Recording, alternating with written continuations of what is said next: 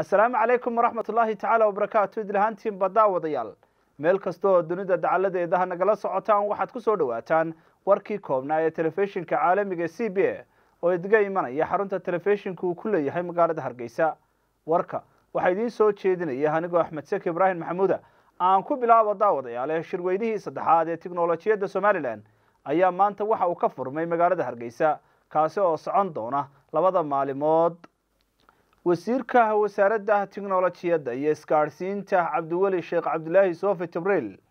ayaa sheegay in muddada uu socdo shirkani lagaga hadli doono arrimo ay ka mid yihiin kaalinta tiknolojiyaddu ay ka qaadatay geedi socodka horumarka somalilan baahida loo qabo xeerarka iyo qawaaniinta tiknolojiyadda iyo xidhiidhka ka dhexeeya dhaqaalaha iyo tiknolojiyadda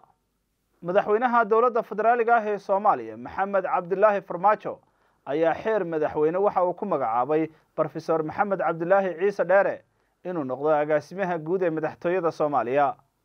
Kadib markii agaasimihii hore ee villa soomaaliya mudane cabdisiciid muuse cali loo magacaabay wasiirka arrimaha dibadda iyo iskaashiga caalamiga ah ee dowladda federaaliga ah ee soomaaliya kaasoo madaxweynuhu uu uga mahad celiyey sidii xilkaska lahayd ee uu u soo hogaamiyey xafiiska muddadii koobnayd uu xilka hayay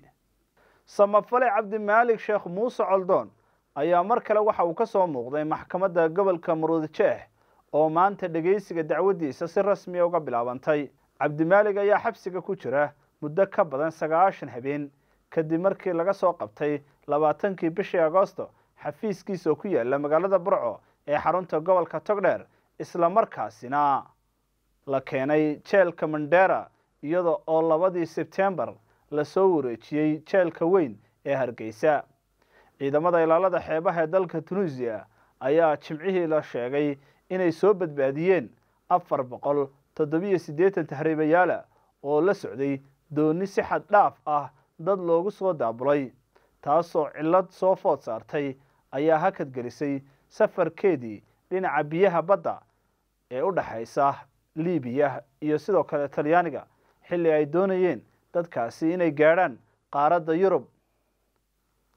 Doonta ayaa la sheegay inay siday dad tahriibayaala oo u kala dhashay dalalka masar suuriya suudaan bakistan etoobiya iyo falastiin waxaana ciidamadu baddu ay sheegeen inay ku jireen dad maato ah kuwaas oo tiradooda lagu sheegay saddex iyo toban haween saddex iyo sagaashan carruura